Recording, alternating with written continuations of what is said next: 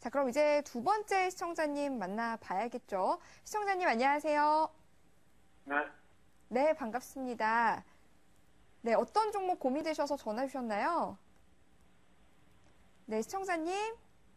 네네. 네네. 궁금하신 종목 뭔가요? 예, 저기, 아, 여보세요? 예, 지금 전화 상태가 좀 좋지 않은 것 같습니다. 시청자님, 어떤 종목 궁금하셔서 전화 주셨나요? 한독약품이요. 한동약품, 매수가와 네네. 비중은 어느 정도 되시죠? 매수 26,000원에 30%. 네, 26,000원에 30%. 현재 좀 손실폭이 네. 커져서 걱정 많으실 것 같은데요. 전문가님의 힐링 코치 먼저 들어보시고 전문가님과 직접 얘기 나눠주세요. 네.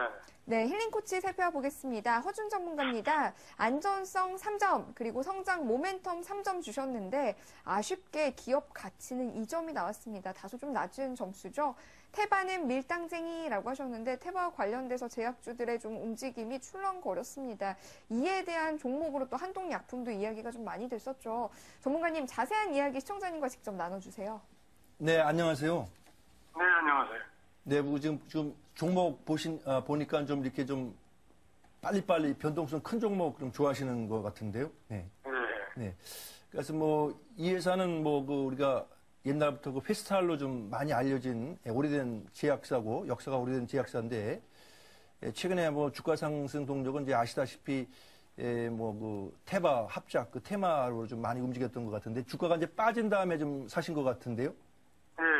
네. 네, 그래서 아마 좀 이제 고점 대비 33,650원 갔다가 26,000원까지 빠지니까 이제 고점 대비 좀 많이 빠져서 아마 좀 매수를 하신 것 같은데, 네. 예, 근데 이제 그 이제 종목의 그 성격 자체가 좀 이렇게 예, 이제 실적 모멘텀으로 움직인다기보다는 이제 그 이런 그 뭐 테바 합작 같은 좀 테마성으로 좀 변동성이 크다 보니까 예, 제가 보기에는 조금 그, 어, 좀 타이밍을, 종목 선정이나 타이밍이 조금 그 너무 좀, 아, 좀, 한 템포 좀 빠르지 않으셨나 좀 생각이 좀 듭니다. 그래서, 현재의 국면은 그 이제 그 한 차례 여기 차트상에 보시면 이제 12월 달에 한번 에, 커다란 좀 큰 시세가 한번 좀 나온 다음에, 예, 좀 주가가, 어, 에너지가 좀 분산 단계에 있기 때문에 있습니다. 그래서 당분간 주가는 에, 거래 감소 속에 에, 뭐 횡보 국면이 좀 이어질 거로 보입니다.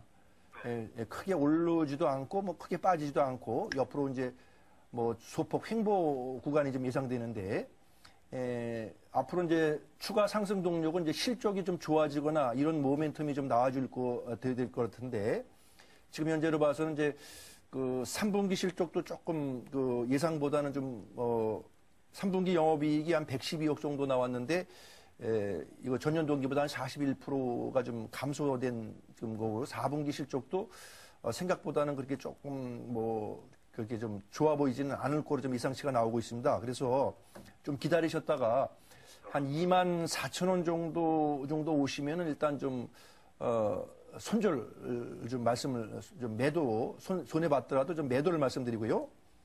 예, 혹시 또 주가가 어, 지금보다 더 하락해서 60일 이평선인 한 19,500원 이하로 더 내려가면은 예, 그때는 좀또 필사적으로 어, 뭐 손해 봤지만은 예, 좀더 매도를 해야 될 거로 좀 보입니다. 그래서 어, 제가 보기에는 지금 이 종목의 뚜렷한 그 상승 동력이 보이지 않는 상태이기 때문에 예, 뭐 더 빠질 것 같지는 않지만 그렇다고 올라가지도 않고 예, 당분간 좀 횡보 흐름이 예상되기 때문에 예, 최근에 이제 그 제약주 쪽에 예, 뭐 인기가 많은 종목들이 많이 나오는데 뭐 제약주 안에서 좀 실적이 좀 뒷받침되는 뭐 아, 종군당이라든가 또는 뭐 동아제약, 감미약품 또 이런 좀 조금 펀더멘탈 뒷받침되는 종목으로 한번 뭐 교체를 검토해 보시는 것도 좀 괜찮지 않을까 예, 이렇게 좀 말씀 좀 드리겠습니다. 아유, 네, 시청자님 힘 내세요. 네네. 네, 감사합니다.